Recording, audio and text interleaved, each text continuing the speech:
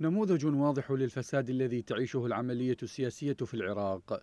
أحمد الجبوري محافظا لصلاح الدين مرة أخرى في جلسة شهدت جدلا وفوضى تعكس طبيعة النظام السياسي وكيف يدار. شخص محكوم بقضايا فساد وأودع السجن بسببها ثم شمل بالعفو ويفتقر لأدنى درجات الإدارة السياسية لكنه مع ذلك لم يغب عن المشهد في محافظة صلاح الدين منذ عشرين عاما.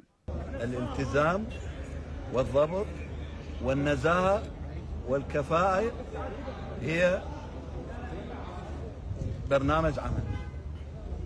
كل شيء اسمه مو نظيف ما يبقى في داعي يتحدث أبو مازن هنا عن الكفاءة والنزاهة كأساس لبرنامج عمله متعهدا في الوقت ذاته بمراعاة ما سماها استحقاقات الأحزاب وهو الذي له تاريخ طويل من تهم الفساد حيث سبق وأن طلب إلغاء ترشيحه للانتخابات البرلمانية عام 2014 لوجود قيدين جنائيين ضده يتعلقان بسرقة سيارتين عامي 1985 و 1992 حكم عليه في إحداها بالسجن 15 عاماً.